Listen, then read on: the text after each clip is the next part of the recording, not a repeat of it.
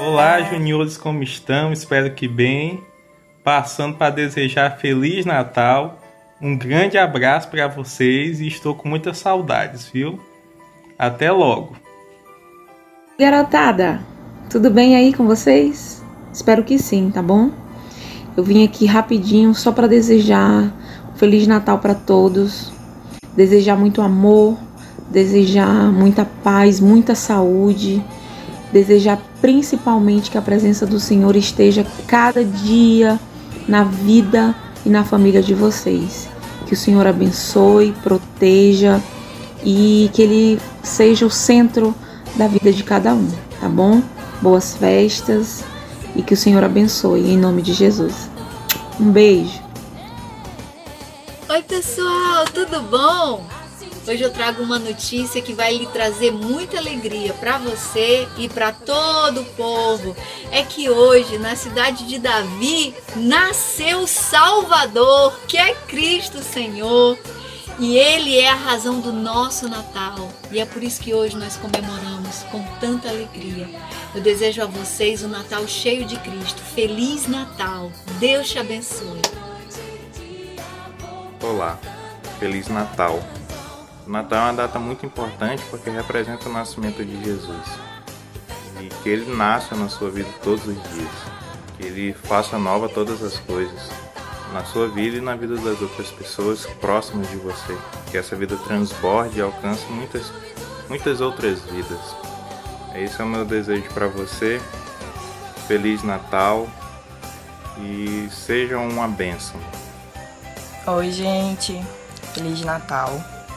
Natal é o dia em que nós comemoramos o nascimento de Jesus e eu desejo que a vida de vocês sempre seja refletindo, lembrando que um dia ele veio a esse mundo, nos trouxe redenção, nos trouxe esperança da vida eterna e que vocês possam abençoar a vida de outras pessoas, que vocês possam falar de Jesus e mudar a vida delas. Hoje eu queria compartilhar com vocês a fábula das três árvores. Conta a história que havia no alto da montanha três pequenas árvores e que sonhavam o que seriam depois de ser grandes. A primeira, olhando as estrelas, falou: Eu quero ser o baú mais precioso do mundo, cheio de tesouros. Para isso, eu até me disponho a ser cortado. A segunda pensou: É, eu quero ser um grande navio para transportar reis e rainhas. A terceira, olhando o vale, pensou: eu quero ficar aqui no alto da montanha e crescer tanto, tanto que as pessoas, ao olharem para mim, levantem seus olhos e pensem em Deus. Muitos anos se passaram e aí um dia vieram três lenhadores nada ecológicos e cortaram as três árvores, todas ansiosas a serem transformadas naquilo que sonhavam. Mas os lenhadores não entendem de sonhos, né? Que pena.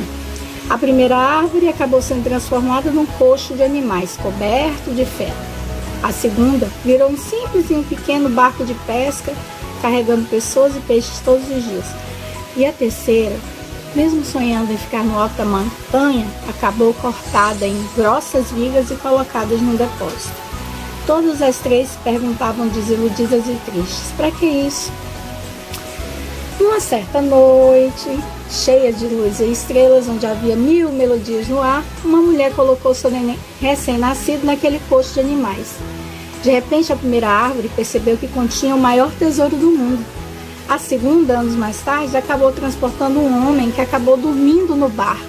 Mas quando a tempestade quase afundou o pequeno barco, o homem levantou e disse: Paz. E num relance, a segunda árvore entendeu que estava carregando o rei do céu e da terra. Tempos mais tarde, numa sexta-feira, a terceira árvore espantou-se, quando suas vidas foram unidas em forma de cruz e um homem foi pregado nela. Logo ela se sentiu horrível e cruel, mas no domingo o mundo vibrou de alegria e a terceira árvore entendeu que nela havia sido pregado o homem para a salvação da humanidade e que as pessoas sempre se lembrariam de Deus e de seu Filho Jesus ao olharem para ela. As árvores tinham tido sonhos, mas as suas realizações foram mil vezes melhor e mais sábias do que haviam imaginado. Nós todos temos sonhos e às vezes eles não coincidem com os planos de Deus, mas nós sempre somos surpreendidos pela generosidade e misericórdia dele. Feliz Natal para todos vocês. Nós amamos vocês. Beijão.